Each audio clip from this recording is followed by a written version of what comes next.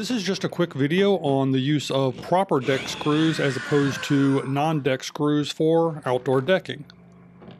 As you can see, when it comes to deck repair, the difference is quite clear. The proper deck screws can be removed fast and easy. No worries whatsoever. But when you hit a non-deck screw, you will immediately hear, feel, and see the difference.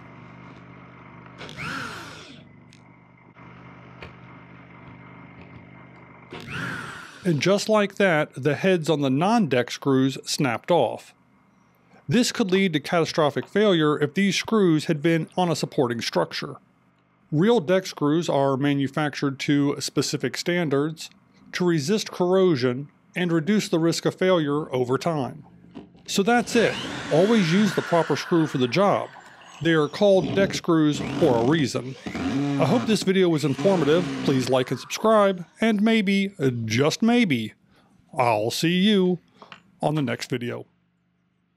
If you enjoy videos about the randomness of our amazing world, consider clicking on the globe to subscribe, or maybe checking out one of the other videos right here.